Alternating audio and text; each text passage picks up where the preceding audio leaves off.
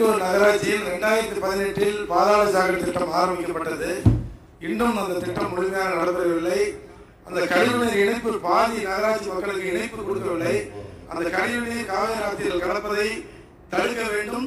அதே ஒரு முழுமையாக பாதாள திட்டம் நடைபெறவில்லை. அது முழுமையாக நடைபெற வேண்டும் என்று நம்முடைய பேரவைத் தலைவர் வாயிலாக அமைச்சர் அவர்களை கேட்க விரும்புகிறேன். உறுப்பினர்கள் முன்பே அங்கு சென்றிருக்கும் போதே எனக்கு சொன்னார்கள். ஒப்பந்தக்காரர்கள் அதில் சில நாட்களில் நிறைய கொரோனா வந்து அதனால் விடுபட்டு போய்விட்டது.